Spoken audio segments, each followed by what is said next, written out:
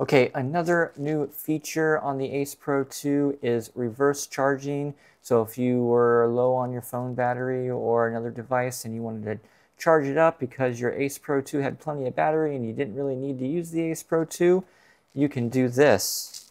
You can plug your phone right into the Ace Pro 2, USB-C to USB-C, and then right here you can choose reverse charging. And now it's going to tell you about that and then you can hit get started.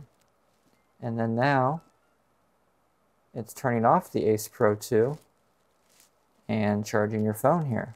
So now if you're ever low on your phone battery and you have an Ace Pro 2 that's fully charged you can totally charge up your phone with that